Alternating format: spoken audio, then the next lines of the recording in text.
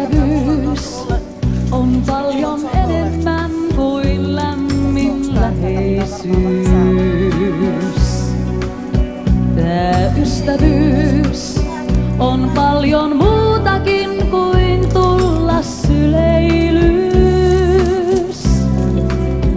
Sain kestävän sun kansas tunne siten loppuelämää.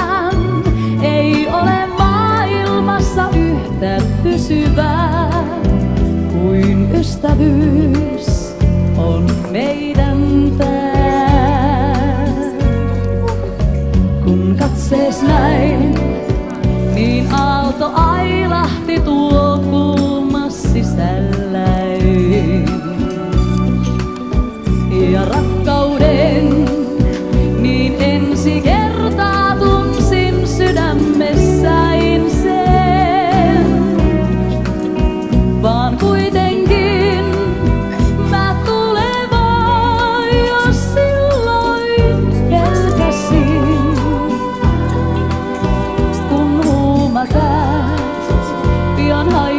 voice.